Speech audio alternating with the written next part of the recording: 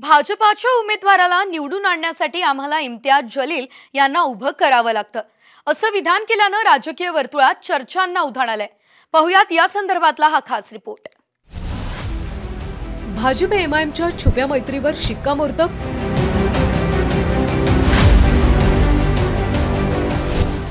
भाजपला लागते जलील यांच्या मदतीची गरज. रावसाहेब दानवेंच्या विधानानं खळबळ. भाजपचा कोणी उमेदवार असो त्याला निवडण्यासाठी आम्हाला इम्तियाज जलीलला उभं करावंच लागतं. भाजप आणि एमआयएमची छुपी मैत्री आहे तसंच एमआयएम ही भाजपची बी टीम असल्याचा आरोप विरोधकांकडून केला जातो. भाजप हे सातत्यानं नाकारत आला मात्र आता विरोधकांच्या टीकेला दुजोरा देणारं वक्तव्य केंद्रीय राज्यमंत्री रावसाहेब दानवेंनी केल्यामुळं राजकीय वर्तुळात भुवया उंचावल्या भाजपचा उमेदवार निवडून येण्यासाठी इम्तियाज जलील यांची गरज भासते अशी स्पष्ट कबुलीच दानवेंनी दिली आहे. अरे दोस्ती म्हणजे आमची दुसरी दोस्ती आहे. नाही की भागवत कराड असो का भाजपचा कोणी उमेदवार असो त्याला निवडण्यासाठी आम्हाला इम्तियाज जलीलला उभं करावंच लागतं.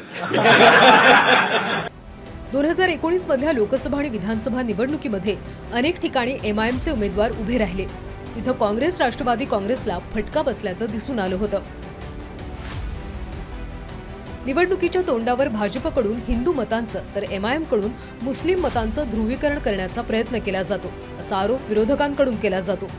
मुस्लिम मतं हा एमआयएमचा आतापर्यंतचा महाराष्ट्रात एंट्री केल्यापासूनचा अजेंडा राहिलाय.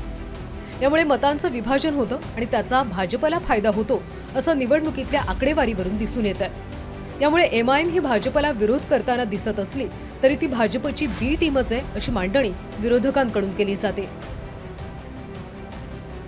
लोकसभा निवडणुकीसाठी वर्षभरापेक्षा कमी कालावधी राहिलाय. यामुळे इंडिया आणि एनडीए दोघेही तयारीला लागले महाराष्ट्रासारख्या मोठ्या राज्यातल्या एकेका जागेकडे बारकाईनं लक्ष दिलं जात आहे सध्या छत्रपती संभाजीनगर लोकसभेची चर्चा राज्यभर आहे. कारण इथे इच्छुकांची मोठी स्पर्धा बघायला मिळते. पंधरापेक्षा अधिक उमेदवार दंड थोपटून आहे इम्तियाज जलील विद्यमान खासदार आहेत.